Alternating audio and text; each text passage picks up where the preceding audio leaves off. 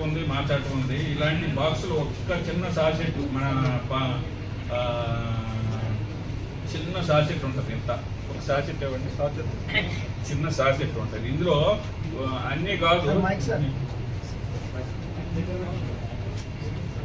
ఇది దీన్ని ఇది valid approved FSS approved sachet ఇది.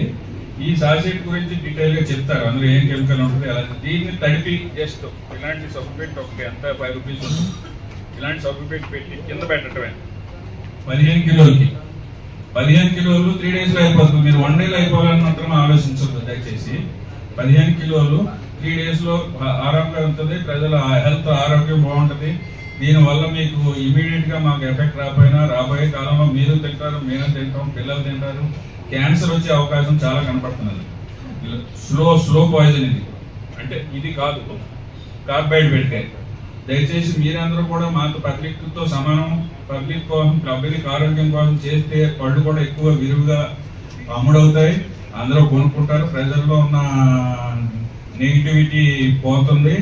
ఈ పోలీస్ వారి రైట్స్ తగ్గుతాయి. మా రైట్స్ తగ్గుతాయి.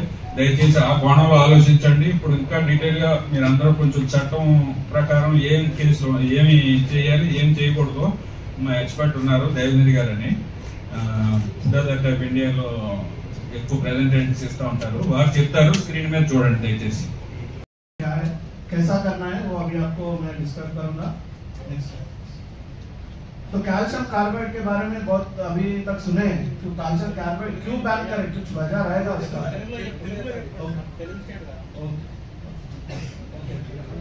సో కాల్షియం కార్బైడ్ అనేది ఎందుకు బ్యాన్ చేశారు అన్నది ఇక్కడ ఎక్స్ప్లెయిన్ చేశానండి మెయిన్ గా ఫస్ట్ వచ్చేసి కన్సూమర్స్ కి ఎంత లాస్ కాల్షియం కార్బైడ్ వాడుతూ ఎవరైతే వాడుతున్నారో ట్రేడర్స్ ఫ్రూట్ ఆండ్రాయిడ్స్ ఎవరైతే వాడుతున్నారో వాళ్ళకు కూడా అంతే harmful skin burn skin irritations inflammation తర్వాత లంగ్ ఇరిటేషన్ వెన్ ఇన్హేల్డ్ కొంచెం ఆ ఫ్యూమ్స్ పౌడర్ ఫ్యూమ్ వచ్చిందంటే వెంటనే లంగ్ ఇరిటేషన్ స్టార్ట్ అవుతుంది.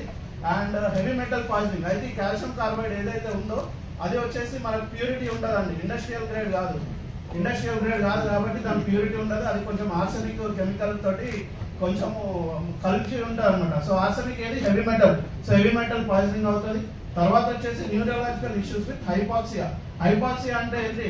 మన కోవిడ్ టైంలో ఏదైతే హైపాక్సియా అన్నారు కదా గాలి ఆడకపోవడం. సో ఇప్పుడు కార్బైడ్ ఉన్న ఫ్రూట్ ఒకవేళ ఆ పౌడర్ దాని మీద పొరపాటు పడి మనం కడుక్కోకుండా తినడం ఎక్కువ ఎక్కువ మాత్రలో తిన్నాం అనుకోండి. ఇట్లా నాలుగైదు పండ్లు తిస్తే ఇమీడియట్గా హైపాక్సియా వచ్చే ఛాన్సెస్ కూడా ఉంది. సో కాల్షియం కార్బైడ్ అనేది ఎట్లా పనిచేస్తారంటే ఇప్పుడు మేమైతే ఇథిఫామ్ ఏదైతే చెప్పామో దాని దీన్ని వర్కింగ్ ఫార్ములా సేమ్ ఉంటుందండి.